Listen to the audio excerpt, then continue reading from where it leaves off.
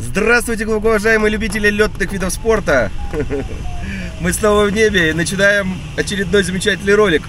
Ну, во-первых, посмотрите, как просто бесконечно красиво. А, мы сейчас э, пытаемся взять атмосферную волну. Кстати, наша тень несется, как обычная. А ролик, представьте себе, будет об органах. Ну, только не о органах нашего тела, а о органах, которые ну, не знаю, я считаю, что являются паразитическими на, в любом государстве. Ну, какие-нибудь там структуры, которые там, это куча здоровых мужчин, которые жрут, срут и делают кучу всего, и в основном балбесничают. Вот эти все внутренние войска, там, ОМОНы и так далее. То есть государство вполне может нести какую-то нагрузку, естественно, от, ну, там, полиции, например, какая-то. И задача, так сказать, полиции и всего остального такого, ну, сохранять э, в случае сложной обстановки нормальное существование государства.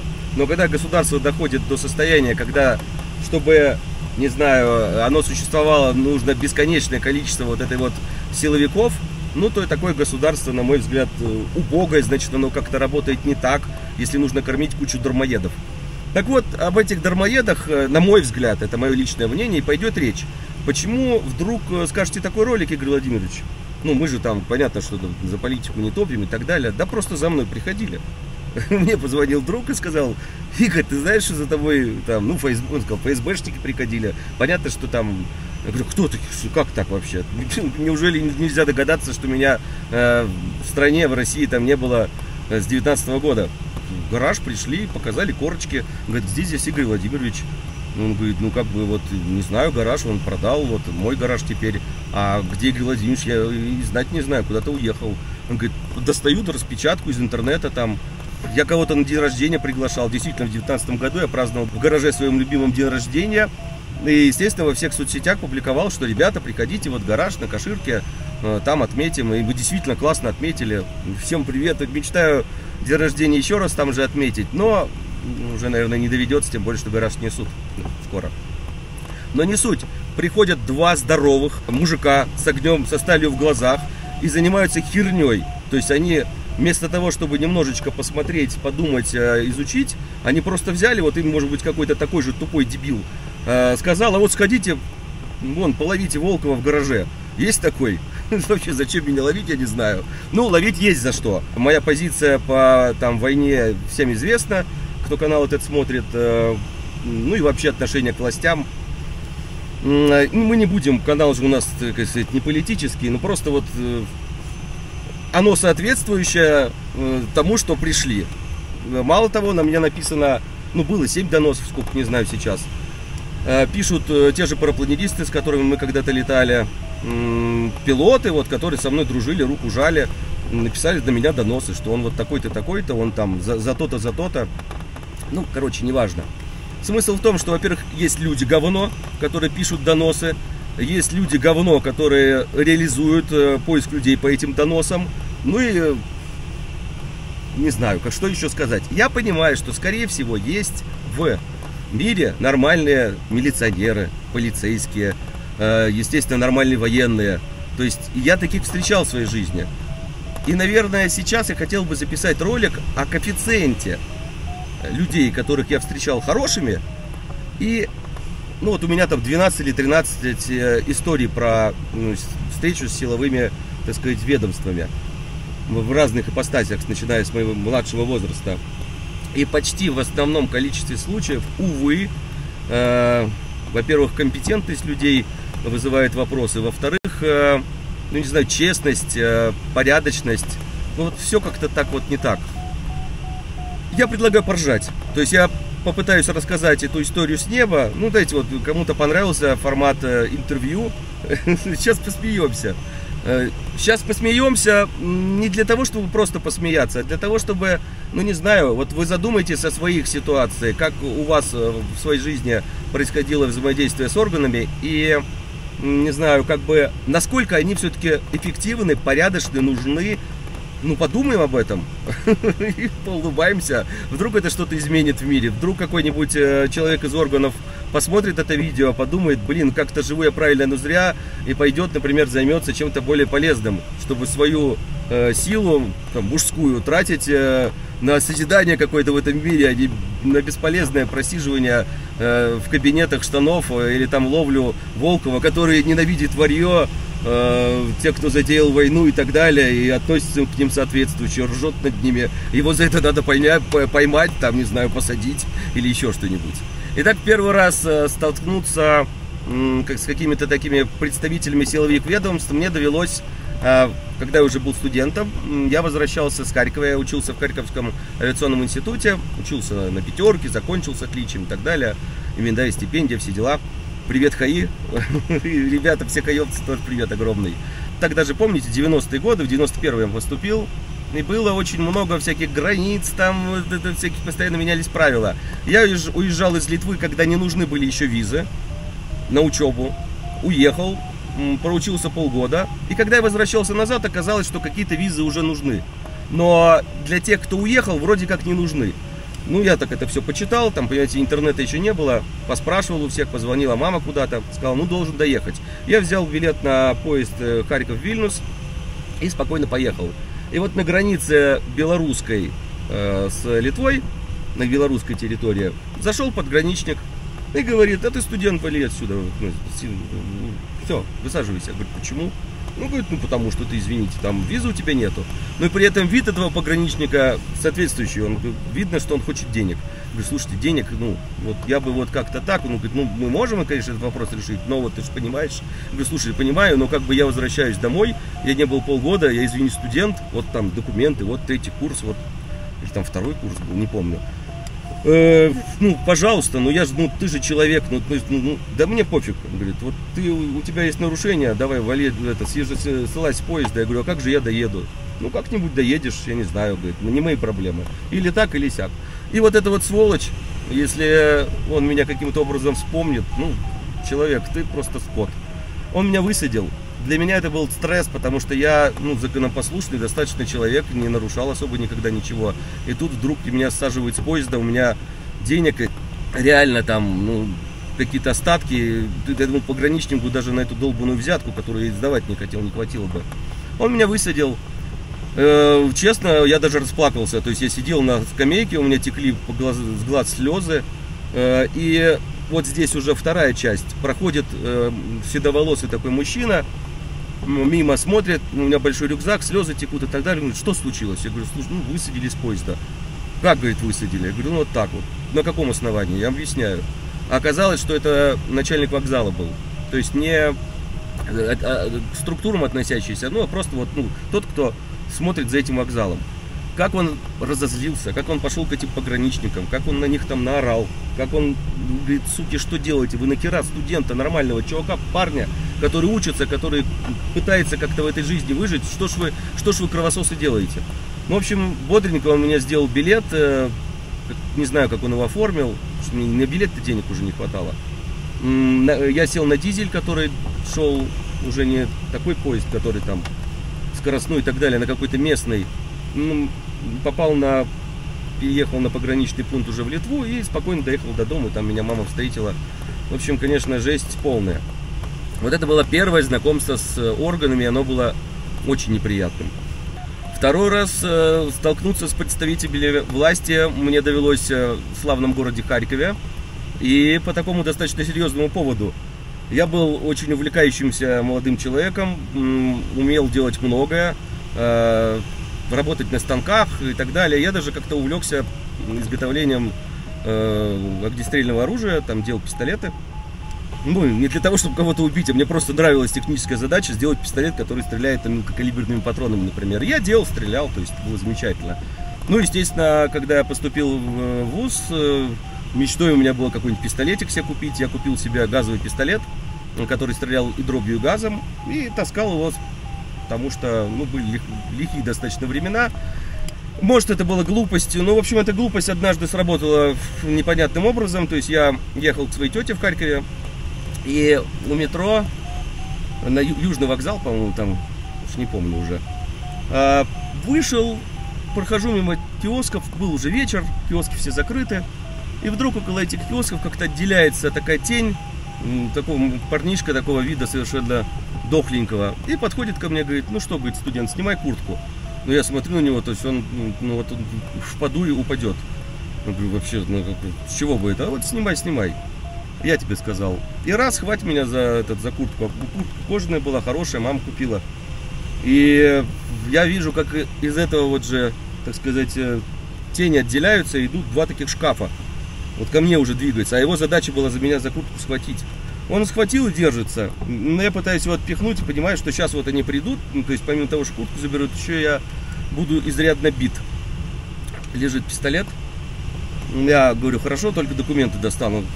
Руку за пазуху. И дальше я, мне удалось его достаточно сильно толкнуть. Он начал падать. В этот момент бегут эти ребята. Я уже не сильно думаю. Сначала в корпус как бы думал газ как-то еще, а потом уже просто не думаю. Меня настолько возмутило вот это ощущение, что меня, нормального человека, на каком-то основании хотят грабить, что просто стрелял вот так перед собой газ-дробь, газ-дробь по теням. И, в общем-то, все не легли. Не знаю, там глаза, как чего, потому что, конечно, нельзя дробью в глаза стрелять, это неправильно. Но я уже, честно говоря, у меня было состояние тоже некоторого эффекта, и за это, конечно, можно было мне и ответить. Зато если бы я ну, при, превысил, так сказать, э, нормы необходимой самообороны. Но спровоцировать на это может шоковое состояние. Я был в таком шоковом состоянии. Я побежал, соответственно, дальше э, от этого места. Услышал выстрел в воздух. И тут, как мгновение волшебной палочки, откуда-то милиция появилась, которой вот не было, когда меня грабили, но вдруг она появилась, когда, так сказать, они услышали выстрел. Ну, логично. А дальше они меня забирают, э, я говорю, только не сажайте меня с этими вместе. Они говорят, ну хорошо, хорошо. А везут, никакого сочувствия, ничего они ко мне не испытывали. Но когда они привезли меня в отделение, мне попался совершенно волшебный капитан, который, э, как оказалось, я там задержал какого-то там, кого искали из этих двоих. Вот, он на радостях э, посадил меня допрашивать, ну и расспросил, как что было, я все как было рассказал. Он говорит, слушай, чувак, ну у меня сегодня хорошее настроение, ты же понимаешь, что, в принципе, с пистолетом бегать газовым по городу Харькову нельзя. Это у вас в Литве можно, а в Литве как раз можно было газовое оружие уже таскать. Вот, а у нас нельзя. Ну, давай мы напишем такое письмо, что ты обязуешься этот пистолет вывести, я тебе его даже отдам. Ну, отдам не этот, а чуть-чуть другой. Мне твой очень понравился, классный, говорит, револьвер. А тебе вот у меня такой же есть, вот похожий, вот давай меняемся. Конечно, меняемся. Вот. И, и таким образом э, я написал заявление, подписал и так далее. Э, так сказать, мы этот э, какую-то коробку сложили этот пистолет, э, поставили туда ну, такую сургучную печать и так далее. Он написал там все необходимые данные, свои милицейские или еще чего-то. Ну, в общем, я эту коробку вывез и на границе предъявил когда выезжал. Ну и, в общем-то, все, я действительно вывез пистолет в Литву и там его и бросил. А, а совет, который дал капитан, был очень дельным. Он говорит, ты понимаешь, в принципе, что ты таскаешь с оружием, вот сейчас вот оно тебе выручило. Но представь, говорит, что у этих бы тоже что-то было. Ты же, говорит, не профессионал, ты пользоваться этим нормально все-таки не умеешь, этому надо действительно серьезно учиться, чтобы просто не на... Ну и ты повезло, что ты ему глаза не высадил. А, говорит, в противном случае было все намного хуже. Поэтому подумай трижды, прежде чем брать оружие. Человек без оружия часто осторожнее и не лезет в бутылку, не провоцирует э, ситуацию. То есть оружие это хорошо, но когда в стране нормально, легально можно им владеть и можно легально научиться им пользоваться. Там пример тех же штатов, в котором, скажем так, ну, шансов, что тебя ограбят несколько меньше потому что каждый грабитель знает, что он может получить, и можно пользоваться вот этой вещью, необходимость самообороной. Ну, неважно, тема совершенно не, не моя, то есть я об этом рассуждать даже не хочу. Я к тому, что у меня был такой случай, когда я стрелял в людей, и для меня это закончилось хорошо, и закончилось хорошо во многом из-за человечности э, того самого капитана. Если он меня каким-то образом сейчас увидел, то большой ему привет и огромное-огромное человеческое спасибо. Дальше были, естественно, всякие там пограничники и так далее и тому подобное. Мы это долго можно рассказывать всевозможные мелкие истории, смысла нет. Они схожи с первой. А интересно, насколько иногда нищими были э, представители власти и, и какого рода взятки они готовы были брать. Как-то мы возвращались с Кавказа, были в Пятигорске, там Донбай и так далее летали на парапланах. Я вел машину, а мой друг Юра сидел рядом на пассажирском сиденье и ел колбасу, вот такую вот длинную колбасу, которую кусаешь, и у него там остается вот такой огрызочек. Мы проезжаем пост, и у нас все хорошо, то есть там бумаги, доверенности, страховки, вот все, вот все, что могло быть, абсолютно все правильно. И на нас смотрит этот милиционер и говорит, ну так, ну как бы вот все у вас, конечно, хорошо, Ну, говорит, ну дайте хоть что-нибудь. Я говорю, а почему? Ну что, у вас совести нет? Дринкинс на него смотрит и говорит, слушай, у нас совесть есть, но ничего нет. Вот хочешь колбасы? Он говорит, хочу. Берет это до грыза колбасы и отпускает нас. То есть это было, конечно, смешно. Это, наверное, можно так сказать, уровень зарплаты милиционеров на тот момент и вообще их э, ну, вот, вот место вот этого постового, который вот просто стоит и должен вымогать эти взятки, наверное, чтобы прожить, а может ему чтобы это сказали, это бесконечно противно и фу. Было много и смешных ситуаций, как ты меня остановил в 0 часов 12 минут э, ДПСник и говорит, о, документики, да-да-да-да, о, и расцветает такой улыбкой. Он говорит, а ты знаешь, что у тебя доверенность 12 минут назад кончилась? Я говорю, а, он говорит, ну вот, вот смотри, 12 минут назад. А дальше без доверенности, ну, нужна была эта дебильная доверенность, которую, естественно, потом подменяли все. А, машину на спецстоянку, эвакуатор, Ой, ну, естественно, заканчивается это все банальной взяткой, которую ты понимаешь, что в данном случае не, отмазаться ты никуда, не от этого не можешь, просто потому что, ну вот, 12 минут ты нарушил, нарушил. Что делать? Он говорит, ну, там вот столько-то рублей и поехали дальше. И в такой ситуации, конечно, пришлось э, заплатить, потому что это намного уменьшает проблемы, хотя это именно провоцирует дальше эту систему существовать. То есть не заплати я, наверное, заплати кучу денег за эти эвакуаторы, ну, подумай, вот придурок, там, дурак, сколько себе геморроя нажил, и, ну, наверное, это был бы все-таки правильный путь. И по правильному пути я, кстати, потом ходил, у меня прекрасная есть э, история, как, э, ну, честно говоря, во многом из-за того, что у меня были потом э, права литовские и машина литовская с литовскими номерами. Соответственно, передвигаясь по Российской Федерации, я спокойно имел право требовать э, все штрафы себе на родину, что я, собственно, и делал. И показательный случай. Э, по Брянской области я ехал, ехал я с планерным прицепом уже, и не нарушал, там скорость может быть километров 70, то есть потому что там такая дорога, что с этим планерным прицепом страшно ехать, без планера останешься. И останавливают меня, естественно, так сказать, сотрудники. Говорят, ой, Игорь, как вас по батюшке? Я говорю, «А зачем вам? Ну, говорит, ну, просто вот, э, говорю, просто не скажу. А фамилия, имя? Игорь Волков, документы, паспорт.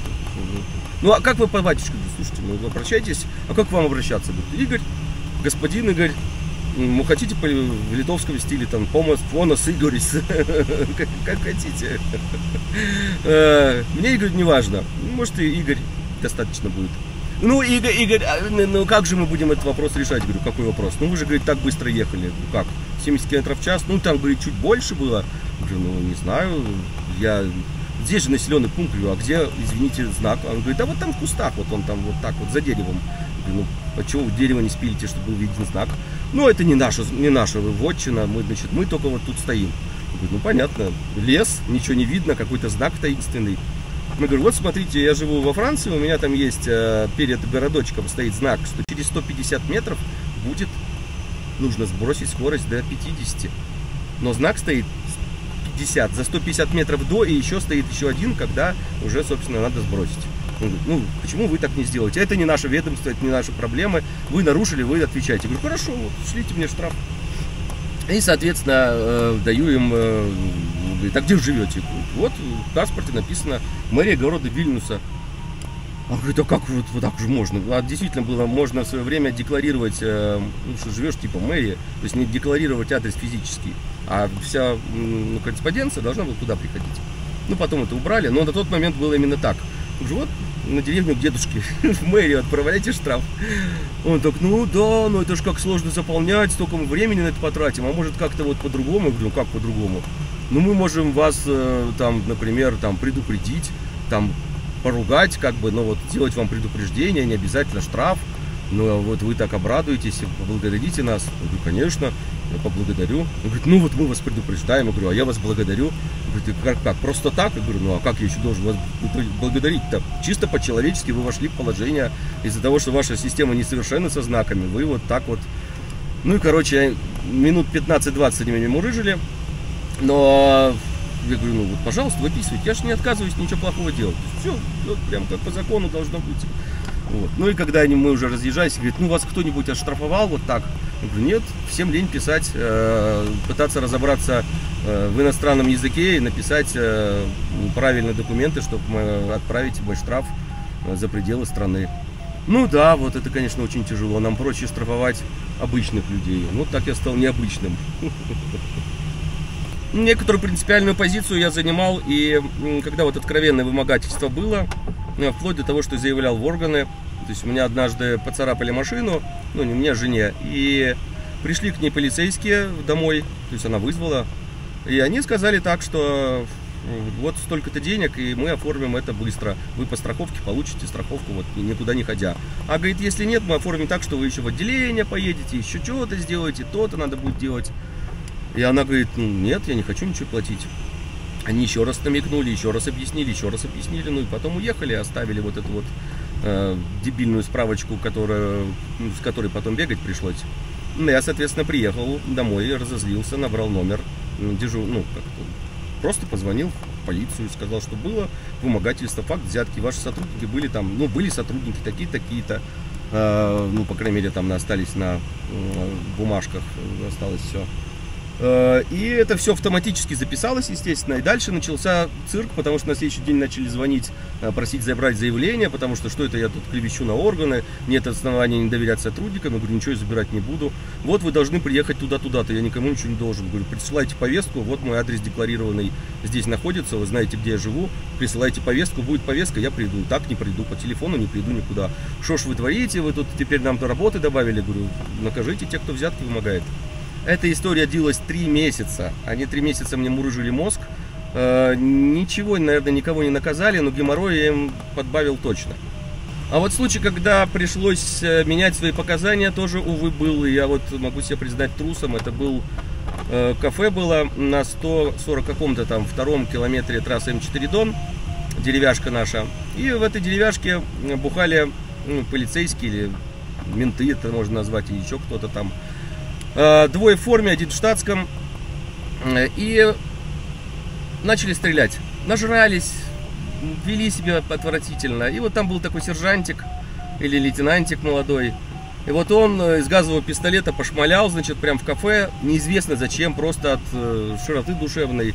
Волной газа накрыло нас даже на улице.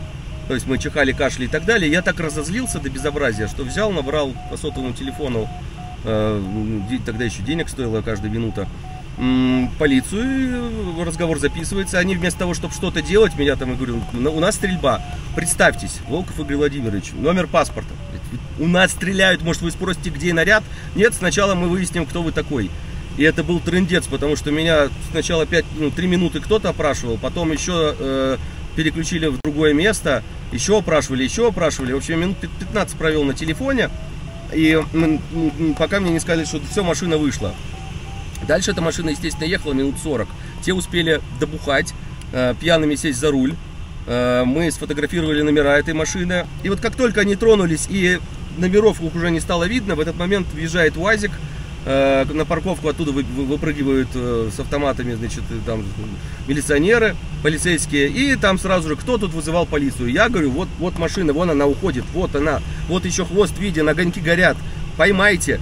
Нет, это, говорит, другое, значит, ее там на посту, если что, примут, вот давайте разбираться, кто тут заявлял. Я, говорю, заявлял. Ну вот, и сторож еще вот э, может, говорю, подтвердить, он с оружием стоял тоже, сторож, потому что бросился как-то этих полицейских успокаивать. Общем, короче, нас допрашивали, наверное, минут 40. То есть геморрой я себе нажил немерено. Но как было, я записали все мои показания. Ну и дальше, значит, я говорю, ну хоть поймайте их. Там, другие поймают.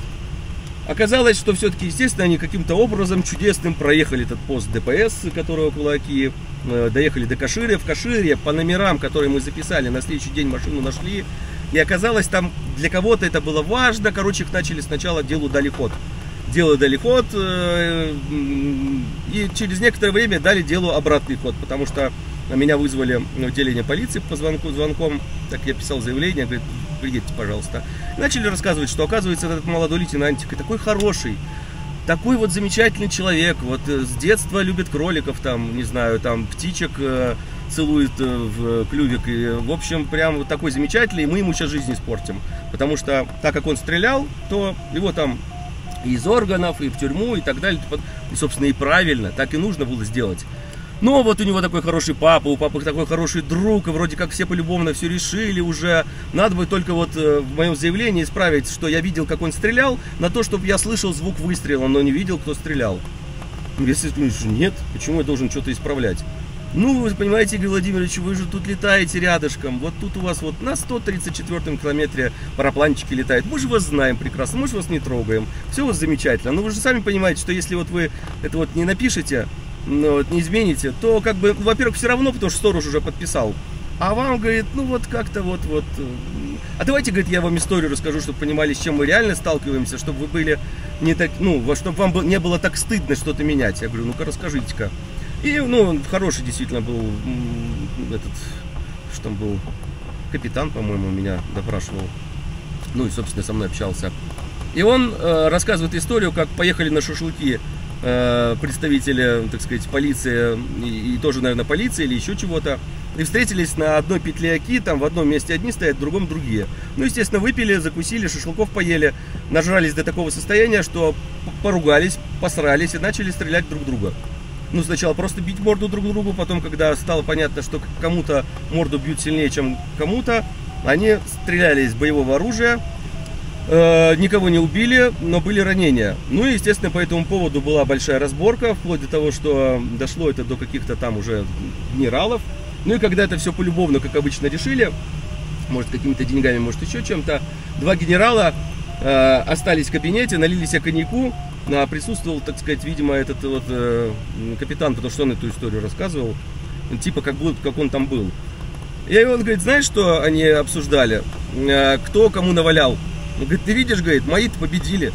Вот, радостно, что вот мои стреляют лучше, там еще что-то. То есть не сам факт, что сотрудники умудряются достать оружие и стрелять, хер знает в каких целях, а то, что кто кого, кто кому, извините, начистил.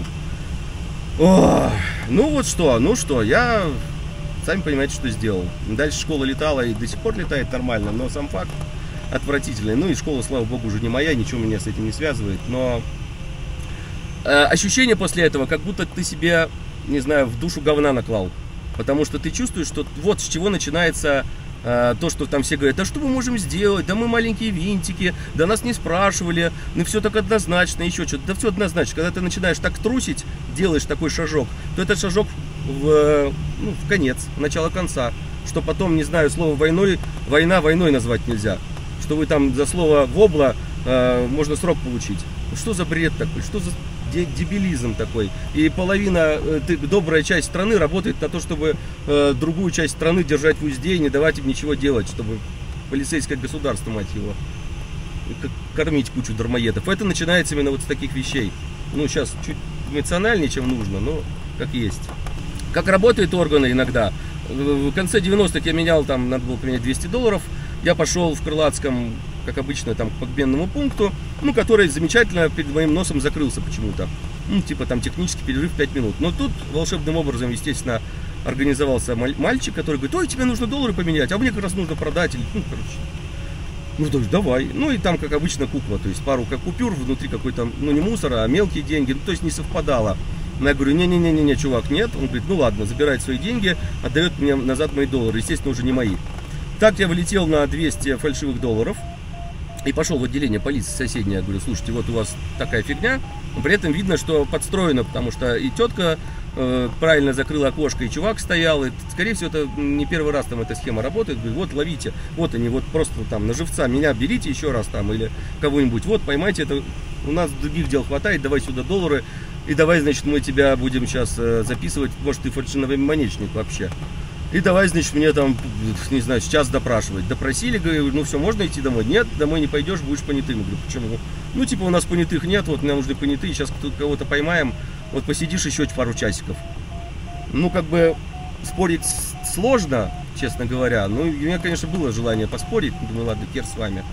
И приводят мальчика, всего в слезах. У него, не знаю, может быть, на один косяк травы, вот щепотка лежит И давай его мурыжить, что ах ты, значит, ты 15 лет пойдешь за эту траву и так далее, там кто тебе дал, он говорит, дядя, телефон дяди.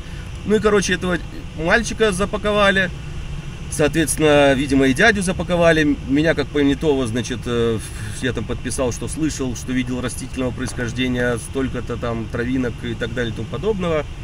Вот, и дальше через полгода мне приходит повестка явиться в суд свидетелем. Я ее выкинул в помойку и все. Ну, нахер мне вообще все это вкакалось. То есть вот так работают, ну не знаю, через жопу. Вместо того, чтобы проследовать что-то нормальное, мальчика берут за там щепотку этой травы. Хотя, кстати, я не поддерживаю все эти там наркотики и прочее, но я просто считаю, что э, некоторые наказания должны быть, ну, соразмерны там, что ли. Что и ловить нужно не того, кто вот это вот таким образом употребляет, в конце концов, а того, кто это продает и на этом деньги зарабатывает. Вот с этого начинать. А этим ты заниматься сложнее, проще вот так на палочек себе на, наколупать. Кстати, о палочках. На показательный случай уже был где-то я уже на планере летал, да. И э, возвращался на машине, на линкрузере, у меня зелененький такой, тоже крокодильчик, замечательный, 97 -го года линкрузер Прада, и останавливает меня полиция. Просто так, я говорю, основания какие? Он говорит, ну вот просто так остановили, документы, я даю документы, он говорит, паспорт, я говорю, прав недостаточно, нет, вот давайте паспорт, ну даю паспорт, паспорт литовский, э, регистрация есть, все чисто, там страховки, ну, все абсолютно белое. А что, говорит, вы это, вот мы вас э, задерживаем, говорю, на каком основании? Ну вот у нас там, вот, вот а что, а что, до основания должно быть? Я говорю, ну, наверное, да, если вы меня куда-то хотите вести, то, ну вот следуйте за нами в отделение. Я говорю, ну хорошо, паспорт отдайте. Паспорт мы вам не дадим. Говорю, вы не имеете права. Паспорт – это собственность моей республики и моя. И вы не имеете права его изымать. Паспорт мой. Пока вы мне отдадите, я никуда с места не тронусь. Хотите, вызывайте следующий наряд. Без паспорта не поеду.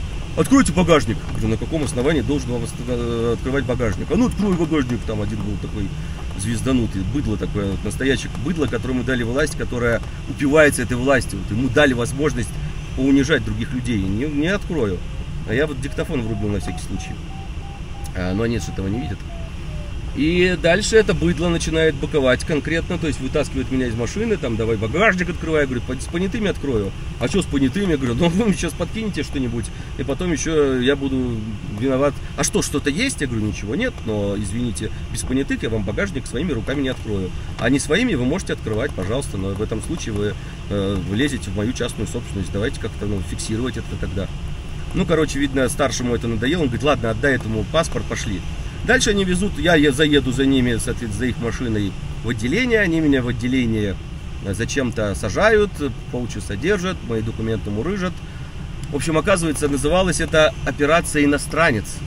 Оказывается, что э, при операции очень много приезжих в городе Москве, и они все обязательно преступники. И, соответственно, очень сильно увеличили преступность. И чтобы ее не было, всех иностранцев нужно проверять. Поэтому по помойкам ловят э, граждан Литовской Республики законопослушных и проверяют, они, не знаю, воруют ли они тут под подворотням что-нибудь. И больше органам заняться совершенно нечем. Ну, я, естественно, э, как только не закончили, э, пошел к старшему, попросил бланк, написал заявление о том, что мне не понравилось, как со мной общались, мне не понравилось, как мне хамили и так далее и тому подобное. Заставил подписать, зафиксировать и так далее. Не знаю, добавил я какого-то геморроя тебе или нет, но Надеюсь, что да. Привет этому быдлу большой, чтоб вам так жилось, как вы работаете. Кстати, привет о том, а, чтобы жилось так же, как работаете, могу передать Авиру, который находится, находился в то время а, Каширское шоссе, дом 59, у нас был гараж рядом, а вот там был по другую сторону Авир, в котором я как иностранец должен был получать, э, ну я пару раз оформлял временное проживание в России, Ой, делать было мне больше нечего, конечно, надо было не заниматься этой херью, но это было удобнее, нужно было делать виз, визы каждый год. Ну и я что там, э, оформлял, так как э, работал я в этом гараже, делал лебедки для парапланов э, по утрам, мне нравилось работать, я приходил в 4 утра, там уже в 4 утра было там 6-7 человек в очереди, я занимал очередь, потом пошел, шел в гараж, до 9 работал, в 9 открывался АВИР, я там был четвертым-пятым, соответственно, приходил, подавал заявление. Делал это я 7 раз, ну, потому что то запятую я не в том месте поставил, то, оказывается, надо было написать так, а так. То есть там были разные инспекторы, и одни сокращения приветствовали, другие говорили, что тут надо печатными буквами писать, третьи говорили, что прописными, четвертое, что не так сформулировано, пят... ну, короче, это был седьмой раз, когда я подал заявление, и заявление было уже вроде как нормально оформлено, и в этот момент сотрудница говорит, ну вот, Игорь Владимирович, вы видите, как вы уже много раз у нас ходите, вы, говорит, не устали к нам ходить? И в очереди стоять, там, у нас же очереди еще немало. Я говорю, знаете, нет, мне так удобно к вам приезжать с утра, я так люблю просыпаться на рассвете. Вот я пришел, и вот видите, сейчас вот сдам это заявление, весь день буду счастлив. Да, говорит, ну вы не сдадите, потому что тут у вас опять помарочка вот такая, вы знаете, придется вам переписать и прийти ко мне в следующий раз. Я говорю, ну, конечно, это очень прискорбно, может, вы как-то дадите мне какую-нибудь брошюрку, чтобы я знал точно, как, как правильно. Ой, знаете, брошюрка, говорит, очень хорошая идея. Мы можем вас подписать на журнал, ну, назовем его «Иммигрант». Говорю, «А зачем? Ну, вы знаете, вы будете в курсе ваших иммигрантских дел всех, и так далее. Вот 7 тысяч рублей стоит подписка за год. Вот, вот надо сюда положить 7 тысяч, и мы вас подпишем на журнал «Эмигрант». Будет вам так замечательно, так удобно. Я говорю, не хочу. Ну, говорит, ну тогда, извините, не будет вам э, при, приема заявления. Говорю, хорошо, отлично. Э, пишите отказ, что вы заявление отказываетесь принять. На каком основании? Она пишет заявление, основание. Я это все беру и иду к начальнику. Он говорит, слушайте, вот я седьмой раз, и сейчас мне предложили на журнал «Иммигрант» подписаться. Я говорю, вы считаете это нормальным? Это не, не, не попахивает взяткой? Нет, ну как вы могли такое подумать? Мы же такие кристально честные и чистые. Я говорю, ну хорошо, но я все-таки, пожалуйста, напишу заявление, что мне показалось, что мне предложили дать взятку в 7 тысяч рублей. Можно я это напишу? Ой, не надо, не надо. Я говорю, ну как-то вот все-таки, может быть, надо, надо. Ну сейчас, сейчас мы решим с вашим заявлением. Они принимают. А дальше мне, естественно, в нормальном порядке выдают этот э, вид на жительство, а приходит он, ну такая бумажка тебе по почте приходит по обычной, и написано, что вы должны с этой бумажкой обязательно сразу бегом в АВИР. Я, естественно, сразу бегом в АВИР с этой бумажкой. Мне говорят, о, отлично, подписывайте бумагу, что вы в 7-дневный срок обязуетесь там как-то там зарегистрироваться, что-то что сделать. Я говорю, а что для этого нужно? Ну, должно теперь такой с голограммой прийти еще к нам, вот как оно придет, вы сможете зарегистрироваться. ну, когда придет, тогда и напишу. Не-не-не, пишите сейчас. Мы вам потом позвоним. Я говорю, а если я нарушу из-за того, что вы мне не позвоните или еще что-то? Да ничего не будет, все будет хорошо. Мы же вам говорим подписать. Мы же. И вот на этом мы же, мне, дураку, конечно, надо было бы, ну, как, улыбнуться и сказать, нихера. Но я, как Ванька, значит, э, наивный, подписал эту бумажку, что я везу в 7-дневный срок, что-то там зарегистрироваться. И дальше, а говорю, дальше что мне делать? А мы вам позвоним, когда придет к нам уже. Вот дайте ваш телефон, мы вам наберем, когда голограммка вот это придет, вот тогда вы сможете это все закончить. Проходит две недели. Через неделю я ему позвонил, э, спросил, как. Он говорит, не переживайте, не переживайте, еще не пришла, почта плохо работает. Вот придет, тогда и решим все. Ну и приходит эта штуковина. Я прихожу, мне спокойненько выдают два бланка, говорит, вот пишите объяснительные, как вы нарушили закон Российской Федерации о, так сказать, регистрации иностранцев. А второе, с вас 5000 рублей штрафа. Но, говорит, еще 5000 рублей штрафа с вашей жены, потому что она укрывала иностранцев все эти там неделю, пока он, значит, э, скрывался. Говорю, слушайте, вы в своем уме, вы понимаете, что, как бы, ну, вы сейчас просто вот откровенно делаете полную подлость, гадость и мерзость. Он говорит, я понимаю, но у меня разнарядка, мне нужно собрать столько-то штрафов и поймать столько-то иностранцев. Я что, говорю, по, по ларькам этих джуншутов каких-нибудь ловить? Нет, говорит, вот у меня сидит настоящий боевой иностранец, с которого я спокойно возьму 5 тысяч, которые заплатят. Ну и жена его заплатит. Вот давайте-ка, Игорь Владимирович, делайте быстренько. И после этого все вам оформим, никакой очереди, без очереди вас приму. О, ну что, а что мне дальше делать? Фактически по бумажкам я закон нарушу. Ну я иду, плачу эти 10 тысяч приношу бумажки, отдаю, получаю свое временное проживание и... Короче, вот, э, вот это вот не украшение органов, это какой-то, знаете, вот как э, адский ад, это вот еще только говном намазать сверху и поставить на всеобщее обозрение. Фу! Но те, кто это делал, они ну, вдруг меня увидят, тоже большой привет. Э, передаю, чтобы вам так же жилось, как вы работаете. Высшая подлость, наверное, от э, людей в погонах это бить невиновных. А был случай на Кавказе, в Донбайе, это был какой-нибудь 99 год, наверное, когда проводились большие парапланерные соревнования, наверное, самые большие на тот момент, Кубок Донбая. И съехались действительно представители со всех регионов российских. С Украины очень много народу приехало там и со всех стран бывшего там Советского Союза. Классные были заревы. Но на них мы, многие жили в э, ТЦ «Горные вершины», и там была на каком-то этаже, там в верхнем дискотека. Ну, естественно, было много местных э, ребятишек в Донбайе, которым было скучно. Э, и, в общем-то, я не скажу, что на Кавказе высшей доблестью считается подраться, но у ребят, наверное, было такое развлечение подраться. Ну, судя по всему. Они пристали к девочке нашего друга, ну, просто вот там, как обычно, там, давай познакомимся, ля-ля поля, еще что-то. Проходил мимо наш друг Юра Дринкинс, ну, который сказал, слушайте, ребят, ну как бы девочка, ну не хочет с вами знакомиться, зачем это нужно? А ты вообще кто такой? Слушай, давайте не будем это, э, кто такой и так далее, но просто вот пусть не приставайте к ней и все. Вечером придем с тобой разбираться. Я говорю, ну почему? Разбирайтесь сейчас. Нет, вот вечером на дискотека приходи, значит, мы тебе сейчас там морды бить будем. Ладно. Ну, вот, и Юра, естественно, вечером, не знаю, по-моему, он и пришел, но как-то как там это все началось спонтанно, то, что его пришли искать, сразу его не нашли, значит, дальше кому-то доколебались, как обычно, и начали друг другу, ну, собственно, начали просто драться. Мерзко, подло, э, с какими-то там цепями, с какими-то там палками. Э, парапланеристы, достаточно дружная компания была, заступать, ну, начали как-то, не знаю, сдерживать эту агрессию дурацкую. Ну и пошло такое реальное месилово. И в это месилово э, бодренько включились менты, в данном случае вот именно подлые, мерзкие, гадкие менты местные, которые вместо того, чтобы как-то разнимать все это дело, а, у человека слетели часы, он полез за ними их поднимать, и в этот момент со всей дури сапогом этот мент врубил в голову этому человеку, он перевернулся чуть ли не в август, наш парапланерист э, в воздухе и упал. Там э, кому-то стукнули так, что запал язык, чуть не умер Марков Володя. А, при этом рядом стоит его дочь, которой там 14 лет и все это видит. Это выглядело отвратительно, мерзко. Э, каким-то чудом как-то закончилось без трупов.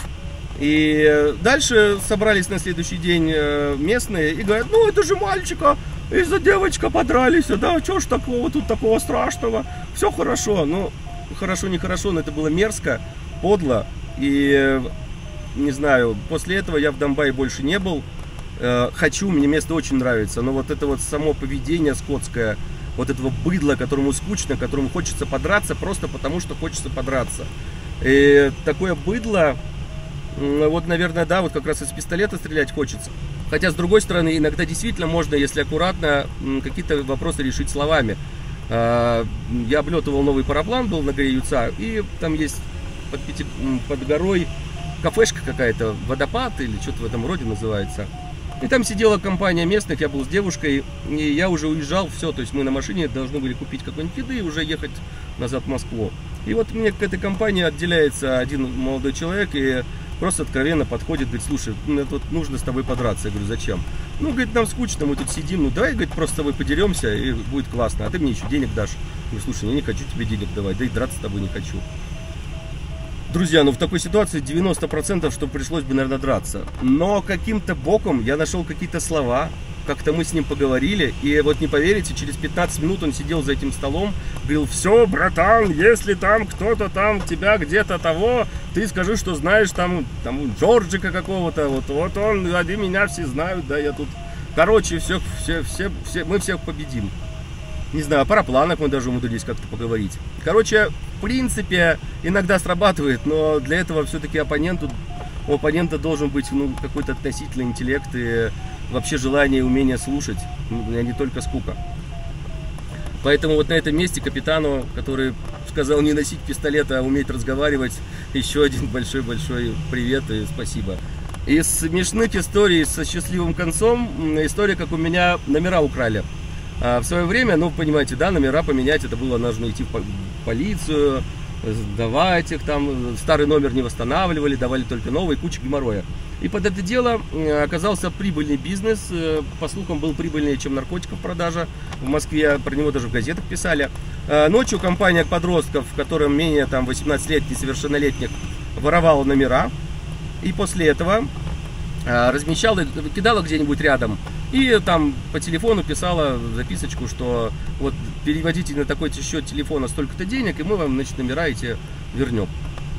Ну, и российские номера стоили полторы тысячи, две тысячи рублей, что-то такое, а э, иностранные, соответственно, больше. Вот у меня номера украли, а машина у меня на временном ввозе, в общем, куча геморроя с этим.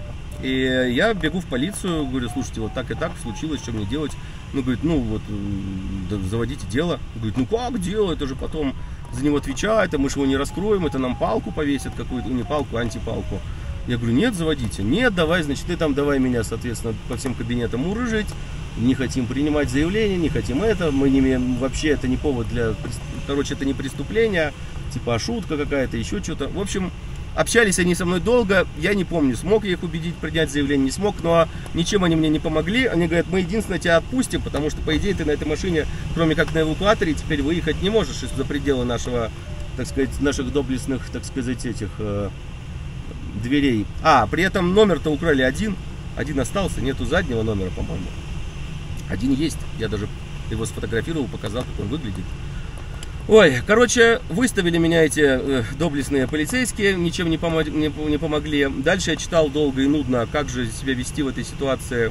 А, оказалось, что можно совершить преступление, типа проехать с утра на красный свет или там на что-нибудь еще, а, получить э, штраф, и с этим штрафом целый день у тебя какая-то амнистия, что ты можешь ехать, и э, то, что у тебя нет номеров, тебя за это, ну, вроде как, вроде как можешь ехать. Не знаю, кто-то там писал такие байки всякие, ну, я решил поступить по-другому. У меня был... А, при этом я говорю, полицейский, ловите, вот вам, пожалуйста, номер телефона человека, который это делает.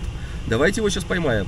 Нет, мы не можем, мы, значит, не имеем права проверять номера, нам надо запрос делать только за две недели, через две недели ответят, ля-ля тополя. Ну, я позвонил другу, который в Билане работал. Поля, привет. И дальше он посмотрел этот номер, рассказал, сколько денег там летает, э, говорит, очень приличные суммы каждый день носятся туда-сюда. Но, говорит, они меняют эти номера раз там, не знаю, в пару, в пару дней. Но, говорит, сегодня еще вроде у тебя есть шанс, давай. Я бодренько написал этому вору, мы с ним бодренько поторговались, значит, что это, оказывается, можно и в посольстве номер получить, и, вот, в общем-то, я готов там, ну, так уж и быть, 3000 рублей пожертвовать, 4, значит, на, э, так сказать, воровские цели. Вот он согласился, я бодренько пошел в Билайн, как меня научил э, Оля. И дальше зафикси... Э, заплатил эти деньги и сразу же заполнил заявление о возврате. И дальше сотрудник, который там был... А, после этого поехал, естественно, э, мне пришла смс, где мои номера лежат. Я их нашел, откопал, спрятал. Они под машиной в снегу лежали там во дворе каком-то. И помчался в офис Билайна. Там э, сотрудник молодец, умничка. Если смотрит эту историю, то дай бог ему здоровья. Прям, прям золотой человек. Он говорит, э, ты знаешь, говорит, вот прям сейчас нету на счету там ноль, но говорит, с периодичностью раз в 15 минут что-то падает. Давай, говорит, я вот что следующее упадет, тебе сразу же сниму. Вот повешу в горячем варианте. Говорит, давай. Ну и через 15 э, минут раз падает 3000, он говорит, три снимаем? Говорит, ну снимай. Но говорит, это только один раз, я больше не смогу. Он говорит, давай. Я делаю возврат средств этого номера и спокойно еду домой. Сотруднику говорю огромное спасибо. А дальше начинается, сами поверите что, на мой телефон летят смс -ки. Ах ты подлый, подлый человек, мы у тебя честно номера украли, а ты нас обманываешь. Ах ты такой-то, такой-то, да как же тебя земля носит, да что ж ты такое делаешь? Ну, то есть, представляете, друзья, вот, вот ну, а у человека, он, там было написано так с ошибками на русском такой, мы у тебе номера укрыли, хочешь их получить, ты, вот такой-то номера. Вот, ну и примерно такой же текст идет по телефону с этими номера. А, о том, какой я неэтичный поступок совершил и как же я подло поступил, что вернул свои деньги назад. Друзья, закончить хочется на позитивной ноте. И я вам расскажу позитивную историю про сотрудников органов, которые в данном случае каким-то совершенно чудом, наверное, новогодним отработали на пятерку и реально спасли меня, хотя могли этого не делать. Э, дело было как раз тоже э, в Авире, немножко позже, после начала первых событий с этим вымогательством. Может быть, сотрудники сменились, может быть, еще что-то, чудо какое-то, тоже на кошельке. Я имел в паспорте э, вид на жительство вклеенный, но у меня паспорт закончился. И на тот момент, кстати, нужно было делать выездные визы. И у меня была выездная виза, был паспорт и так далее, но мне южноафриканскую визу не ставили паспорт, потому что последний был листочек. Я каким-то образом умудрился поменять в литовском посольстве быстро паспорт. Они его, естественно, не погасили старый, потому что была виза. Я спросил, могу ли я по ней лететь в Африку и там, ну, и так далее и тому подобное. То есть у меня был новый паспорт, где вида на жительство не было, а, а в старом он был. И мне нужно было просто вид на жительство, штамп, точнее, вид на жительство был, штамп поставите. Регистрации какой-то, еще что-то. Я у всех спросил, мне сказали, что нет, да так можешь вылетать, да без проблем. И помните, в Москве был ледяной дождь? Мы попадаем в этот ледяной дождь вечером, и у меня из группы в Африку улетает э, несколько человек, трое, а я не улетаю. И нас э, Миратами летели, несут в гостиницу какой-то, Редисон, по-моему. Такая гостиница, что когда нас номер поселили, можно было до другого конца номера орать АУ. И я думал, что откуда-то выйдет швейцар и скажет, мальчик, ты вообще как сюда попал? Очень хорошая гостиница, и Эмиратам, конечно, огромный респект и уважуха. Но на тот момент мы уже прошли почти до паспортного контроля, и я со своим паспортом добежал до погранички, говорю, слушайте, пожалуйста, посмотрите, с такими документами я завтра улечу. Они поставят, не улетишь. Говорю, почему? У тебя виза, этот э, вид на жительство не переставлен в новый паспорт. Я говорю, ну понимаете, как я переставлю, там времени не было. Он говорит, он в старом есть. Он говорит, нет, мы понимаем, что так физически можно, и там, не знаю, в другой стране, там, европейской, вы бы так улетели, но у нас вот прям вот приказ начальства, если такое, не пропускать. Я говорю, даже спрашивать нет смысла. Он говорит, даже спрашивать нет смысла. Вот, и я, соответственно, в полном удивлении, то есть у меня в Африку летит группа, я инструктор, куча народу должна летать, я в том числе на парапланах мы тогда летали. Это был, по-моему, 2010 год. И это, конечно, для меня был шок. Я, я, честно говоря, не понимаю, что делать. Довозят до этой вот э, гостиницы. Я утром просыпаюсь, завтракаю, первым делом на Покровку еду. Думаю, может, мне эту выездную визу дадут, может быть, как-то что-то переставят. Э, на Покровке говорят, я бы тебе с удовольствием выездную визу дала и что-то переставила, но тебе нужно, чтобы вклеили вот этот вот, поставили штамп, а штамп в виде только ставят. А я говорю, а сколько займет? Я говорю, ну если ты какое-то чудо случится, ты приедешь до обеда или после обеда, я тебе все поставлю. А у нас самолет 2 часа. Я понимаю, что ну все, жопа. Но делать что-то надо, это, кстати, к вопросу о том, что всегда надо барахтаться, как той лягушки с лапами, э, в этом, которая масло взбила. Я думаю, ничего я не теряю, еду я в этот авир, э, прихожу, а там очередь, ну, как обычно, до горизонта, и э, там некоторая катастрофа, потому что э, была запись всегда, такой лист с записью. И мужчина прогулял отметку, ну там надо было каждые три часа приходить отмечаться. Он прогулял отметку и э, начали с ним спорить, он вырвал список и съел его. Вот, и там, соответственно, до мордобоя дошло, что там ну, вот полностью вот такое вот что-то такое. Только все успокоились, я стою, думаю, ну вот что мне сейчас делать? Как? Очередь занять это бесперспективно. Ну и я стою перед людьми, говорю, слушайте, люди добрые, вот такая вот хрень с Африкой. Ну и рассказал, как есть. Ну, так как была жесткая напряженная остановка до этого, народ поржал. И кто стоит первый в очередь, говорит, а я его пропущу. А за ним следующий говорит, и я пропущу. Остальные, нет, а что мы его будем пропускать? Говорит, ну, ну слушайте, ну вот давайте, у нас дофигища всех, но хоть одному человеку поможем. И меня берут, пропускают. Я захожу к начальнику, ну не к начальнику, к сотруднику, говорю, слушайте, нужно там переставить. Он говорит, ну нет, ну это там вот это, потом надо так-то, потом надо начальника, там надо это. То есть, ну, говорит, за сегодня ты не успеешь. Я говорю, слушай, ну как-нибудь, ну пожалуйста, ну помогите, ну вот такая ситуация. И надо отдать должен. Он говорит, ну ладно, может чудо случится, давай заполняем. Но тебе же нужно еще съездить э, э, в какой-то там центр, где подтвердить свое место жительства, регистрации. То есть, ну давай так, я тебя все заполню, ты берешь нашу сотрудничество, на такси туда едете, ей как раз туда надо. Ну и говорит, может тебе что получится. Я выбегаю на улицу, ловлю какого-то таксиста, говорю, чувак, сколько, говорю, вот 3000, но ты мой на 3 часа. Он говорит, когда запрягать изволите. А дальше мы мчимся, действительно едем туда, там все мне ставят, возвращаемся назад. И как он говорит, ну начальник нужен, без подписи начальника все равно ничего не сделаешь. И тут каким-то чудом вот материализуется начальник, я бросаюсь в него, он говорит, что случилось? Я говорю, вот так вот. Он говорит, как, а как это ты успел за утро сделать? Я говорю, ну вот так вот. Говорит, ну ладно, подписывает. Я на этом такси до метро, на метро, до... В общем, окошко закрывается у сотрудницы, на обед она уходит. Она меня видит, ты, говорит, успел? Я говорю, я не знаю как. Она говорит, ну ладно, давай я не на обед не пойду, выпишу тебе эту штуку. Она выписывает мне эту выездную визу. Я бегом на такси до, до этой гостиницы и вижу, как вот стоит хвост автобусов, которые наши все грузят рюкзаки, кричат, Волков, твой грузитель в гостинице оставить. Я говорю, конечно, грузить. Я прыгаю в автобус, мы доезжаем до аэропорта и уезжаем в Африку. Вот такая позитивная история, как, как, как в исключительном случае, но некоторая человечность людей может даже самую дурацкую бюрократическую ситуацию превратить в решаемую. Сейчас, естественно, все это меняется, вот эти все визы, фигизы, там вся вот эта вот бюрократия немножечко обросла там госуслуги какие-то заработали, я так знаю, еще чего-то.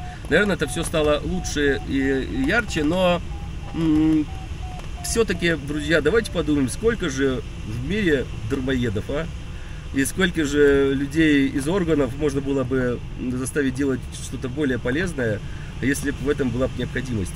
Давайте помечтаем об этом, помечтаем, что э, в будущем когда-нибудь настоит какое-то чудо, и, например, та же полиция не просто переименуется в полицию из милиции, и ничего не поменяется, а, например, будет как в Грузии, когда в одночасье э, полиция стала такой, что хочется обращаться, хочется улыбаться и радоваться. То есть это был действительно яркий момент, когда в одночасье изменилось очень многое. Но я думаю, что не везде такое возможно. Не будем о грустном. Мне нравится здесь во Франции работа полицейских. Это, конечно, просто умнички. И э, вот подтянутые, э, такие все, не знаю, ухоженные, холеные, профессиональные. Вот слово профессиональное очень хорошо подходишь.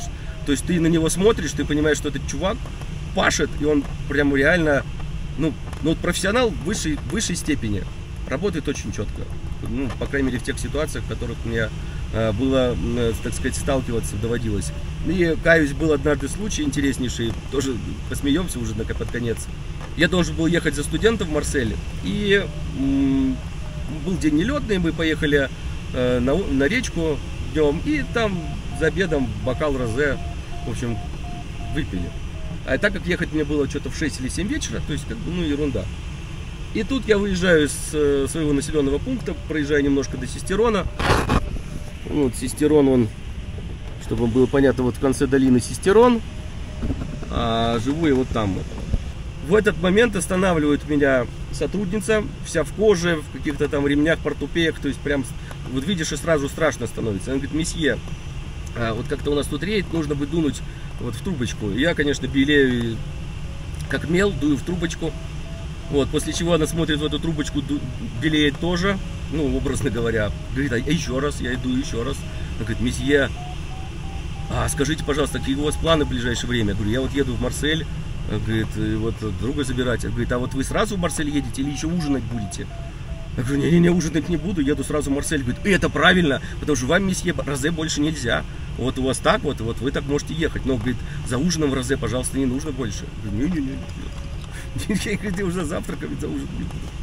Вот, вот такая история. То есть здесь, ну, какое-то промилле небольшое можно. И это, ну, не знаю, такое ощущение, вот, кстати, что часто очень не, не ловят ради того, чтобы поймать, а делают достаточно какие-то простые решения, простые ограничения там по скорости, еще почему-то. Но они все логичные. То есть видишь, знак стоит, но он точно будет не в кустах. Если уж нужно снизить скорость, то совершенно очевидно для чего, почему и зачем. И это, наверное, показатель здоровой страны, которая за э, какое-то определенное время прошла путь от... Э, у всех, конечно, проблемы какие-то были. Ну и вот сейчас, наверное, можно сказать, достаточно хорошо все. Вот. За сим э, желаю всем, что в каждой стране так и было. До новых встреч, глубоко уважаемые любители лета и видов спорта. До новых позитивных роликов. Эгегей!